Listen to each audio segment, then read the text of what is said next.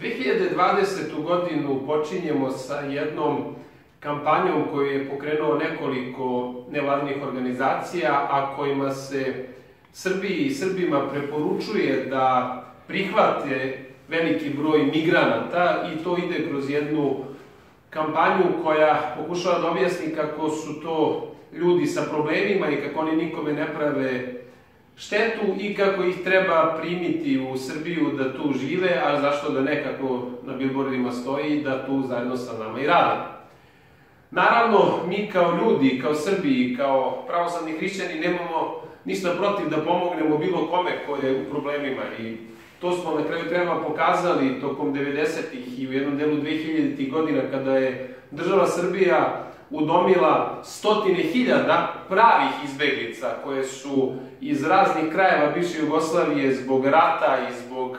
zločina koje su pretrpeli u državama Hrvatskoj, Bosni i Hercegovini i na teritoriji Južne Srpske pokrene Kosmetu. Svi ti ljudi su dakle pohrlili kao prave izbeglice u Srbiju i na stotine hiljada njih i danas dan ima neku vrstu izbegličkog statusa, ali tada ove pomenute nevladine organizacije Soroševskog tipa, niti bilo koji sveta nije imao puno uh, pijeteta prema tim našim izbeglicama, niko nije gledao kako da pomogne, niko nije pozivao na milosrđe, čak naprotiv, mnogi su tada i u Srbiji, nažalost, ali pogotovo u inostranstvu, objašnjavali da su te srpske izbeglice koje su došle pod Bljeskom, Olujom, raznim zločinima u Bosni i Hercegovini i na Kosmetu, u stvari samo dobile ono što su tražile. Sećamo se šta su govorili razni svetski mediji poput, poput Sky News-a, CNN-a i tako dalje. Dakle, isti ti nas pak danas e, obaveštavaju, isti ti nam danas objašnjavaju kako je neophodno da prihvatimo veliki broj migranata i kako je to kampanja ljubavi. Naravno, mi iz Narodnog bloka se tome oštro suprostavljamo, smatramo da Srbija nema nikakvu obavezu ni prema međunarodnom pravu, niti prema bilo kakvim stvarima da prihvati te izbeglice, imajući u vidu da mi nismo izazivali ratove zbog koji su ti ljudi krenuli u sve migrantske puteve, takođe mi nismo država Evropske unije i shodno tome ne moramo da se, da se povinujemo njihovim pravilima i njihovim kvotama o migrantima i mi, dakle, nemamo nikakvo pravo kao ljudi, niti imamo bilo kakvu obavezu kao država da pristanemo na to da budemo neka vrsta migrantskog depoa. Ja smatram lično i da su svi ovi procesi koji nam se dešavaju pored ove priče o migrantima, a pre svega mislim na priču o crkvi u Crnoj Gori, dakle progonu Srpske pravoslavne crkve u Crnoj Gori sa jedne strane i pogotovo priči o mini Schengenu, odnosno toj konfederaciji sa Albanijom i Severnom Makedonijom, su svakako deo jednog te istog procesa, jednog te istog paketa. Ovi, ajde da i tako nazovemo, soroševski orijentisani ljudi širom sveta planiraju očigledno da na teritoriji Balkana, da u jednom delu, a uglavnom na teritoriji gde živimo mi kao narod, da naprave jednu vrstu slobodne zone, što za migrante, što za kriminalce.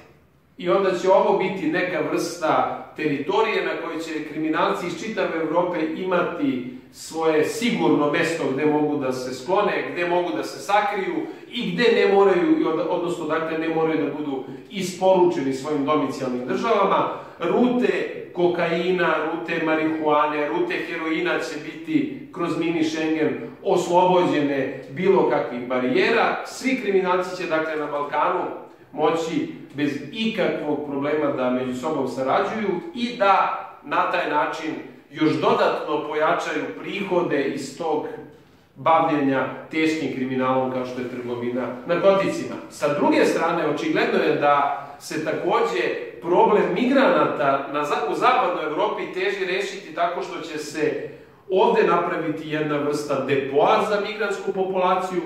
Migranti će lagano, i teška situacija, i ovi kriminalci, sve to što imamo, će lagano potiskivati domicijalno stanovništvo koje će ići ka Austriji ka Nemačkoj i tamo biti jeftina radna snaga, ali bela jeftina radna snaga koja neće toliko praviti političke probleme u Nemačkoj, na primjer, gde imamo rast stranaka kao što su Alternativa za Nemačku, koja je upravo najveći deo svoje popularnosti i baštine zbog toga što su antimigrantski raspoloženi, dolaskom Srba i drugih ljudi sa Balkana njihova politička oštrica će otupeti, a sa druge strane ta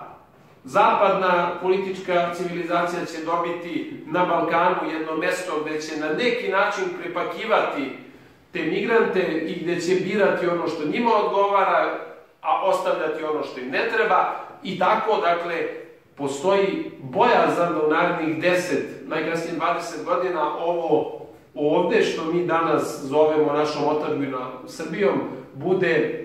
opet kažem, jedan poligon, jedan depo za migransku populaciju i za kriminalce različitih vrsta. Dakle, poslednji je moment, a vidimo, dakle, ponavljam da smo 2020. startovali sa jakom promigranskom kampanjom, koja pokazuje sve pozitivne,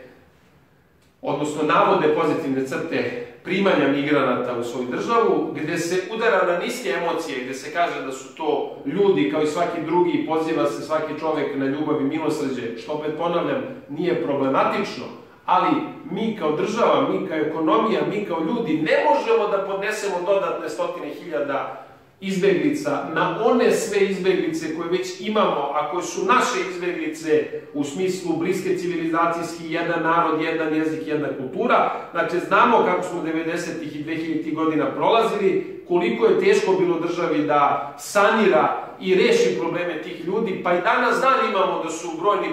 problemi izbegličke populacije u Srbiji nerešeni, a na sve to, dakle, nama planiraju sada da nam kroz tu, da tako kažem, jednu emocionalnu ucenu provuku još dodatne stotine hiljada ljudi iz Pakistana, Afganistana i drugih krajeva gde često ratova ni nema. Zato se moramo svi dozvati u pamet. Narodni blok kao politička opcija poziva na jedinstvo oko ovoga pitanja. Moramo prekinuti da se rasklinjavamo, dakle da se bavimo sa stotinu različitih tema, moramo se fokusirati da makar sprečimo za početak mini Schengen. Jer mini Schengen je tačka koja objedinjuje i ovu situaciju u Crnoj Gori, i priču sa migrantima, i priču sa kriminalcima, dakle od šverca oružja do šverca marihuane i drugih narkotika. Dakle, sprečimo li mini Schengen kao takav politički projekat, Srbija ima šanse da izvrši desuverenizaciju i da onda kao jedna suverena država se odbrani od svih bezbednostnih problema koji joj prete, a jedan od najvećih bezbednostnih problema će svakako u narednim godinama biti taj pritisak migranata koji su uglavnom, i to se može videti, vojno sposobni muškarci u najboljim godinama i shodno tome, dakle,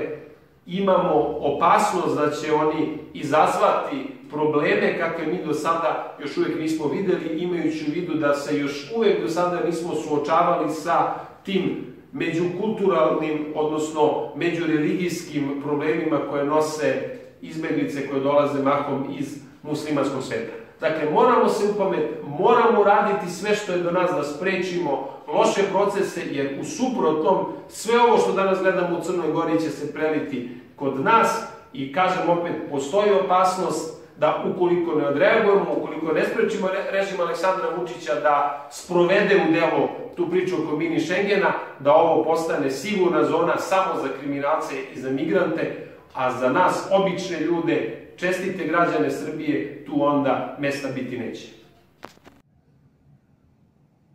Juče smo od predsednika Srbije Aleksandra Vučića na glavnom odboru Srpske napredne stranke čuli kako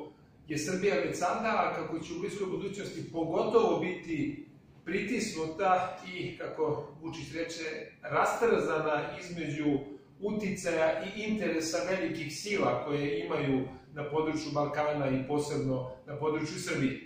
Naravno, ovo nije nikakva novost, čak nije ni ništa netačno, ali plašim se da je posredi ove izjave jedna potreba da se pravi lažna jednakost između uticaja i pritisaka koje na Srbiju dolaze od političkog zapada, pre svega od Sjedinjenih američkih država, sa jedne strane i od Rusije sa druge strane. Dakle, to nije ni bliza isto, niti je sa strane Rusa pritisak, niti je sa strane Amerikanaca postoji neka vrsta mogućnosti da Srbija dobije ustupke i da Srbija dobije neku vrstu satisfakcije. Prosto da govorimo iskreno, Sjedine američke države imaju interes da Srbija u ovom ili onom obliku prizna kosovsku nezavisnost i oni su maksimalno spremni da Srbiji i vlasti u Beogradu daju mogućnost da potpiše sporazum sa Albancima u kojima će jedan deo od četiri srpske opštine na severu Kosmeta pripasti nama, a ostatak će prispasti Velikoj Albaniji. Dakle, to je pritisak koji Srbija ima, to je pritisak koji vlast u Srbiji ima, to je pritisak koji Aleksandar Vučić kao predsednik ove države ima. Sa druge strane, već 20 godina imate principijalnu poziciju Rusije, ali i Kine, koja podržava rezoluciju 1244. Rezoluciju 1244, koja je inkorporirana u Ustav Srbije, u preambulu Ustava, koja podrazumeva dakle, da je Kosovo i Metohija sastavni deo Republike Srbije. Dakle, ne postoji pritisak od Rusije da vi poštujete rezoluciju 1244. Postoji pritisak Ustava Republike Srbije da vi e, poštujete rezoluciju 1244. Postoji pritisak naroda da vi poštujete Ustav Republike Srbije. Tako da nemojmo, i posebno upozoravam vas, dakle, nismo mi toliko naivni pa da ne vidimo da se pravljenjem lažne ekvivalencije, pravljenjem lažne jednakosti između utice Amerike i utice Rusije pokušava napraviti pak da je srpska pozicija, odnosno pozicija vlasti takva da će ona uraditi sve u najboljem narodnom interesu pa na kraju pristati na kompromis o Kosovu, odnosno pristati na de facto razgraničenje na Idu. Dakle, neće proći taj granija na taj način. Prosto neće proći zato što geopolitičke okolnosti i interes ovog naroda, refleks ovog naroda, tradicija ovog naroda nalažu drugačije. Dakle, ajde da se dozovemo u pamet. Poslednji je moment, dakle, da bismo izbegli sukobe unutar sebe, da bismo izbegli to da se Srbija nađe na pogrešnoj strani istorije u ovom trenutku, dakle, moramo se dogovoriti među sobom kako zaista da se odbranimo od međunarodnog pritiska, pritom taj pritisak, da se razumemo, dolazi gotovo isključivo samo sa zapada i vezan je gotovo isključivo samo za pitanje Kosova i Metohije. Očigledno zapadu druge teme u Srbiji nisu bitne, na kraju krava već su od nas napravili gotovo u potpunosti koloniju, tako da im ništa drugo od Srbije više ne treba nego da pristanemo da se sam ubijemo time što ćemo potpisati sporazum oko Kosova, dok sa druge strane, dakle, sa ruske strane ne postoji politički pritisak, i to je istina, jer nema ruskog interesa da bi vršili pritisak na Srbiju i na Balkan, postoji njihova principijalna pozicija odbrane međunarodnog prava i rezolucije 1244, naravno da je ta principijalna pozicija u njihovom nacionalnom interesu, zato što jedna velika sila, kakva je Rusija, sebi ne sme da dozvoli da bude izbačena iz odlučivanja o globalnim problemima, pritom globalni problem što se tiče Kosova i Metohije je povezan sa Savetom bezbednosti i zbog toga niko ko je normalan na ovom svetu i ko želi da održi ono stanje stvari definisano posle drugog svetskog rata, ne želi da izbegne Savet bezbednosti i Ujedinjene nacije, zato što je to jedina siguracija da se u svetu ipak odlučuje uz glas svih naroda na ovome svetu, a ne samo uz glas Sjedinih američkih država, NATO pakta i onima koji su sa njima usko povezani. Dakle, ne pristajemo da vlast vrši lažno izjednačavanje pritisaka iz Rusije, koji ne postoji, kao što rekao, i pritisak iz Amerike, koji su očigledni. Dakle, jedino što u ovom momentu pristajemo mi kao stranka, jeste da eventualno uradimo poslednji napor da postignemo unutrašnji dogovor o zaštiti ustavnog poredka i zaštiti rezolucije 1244.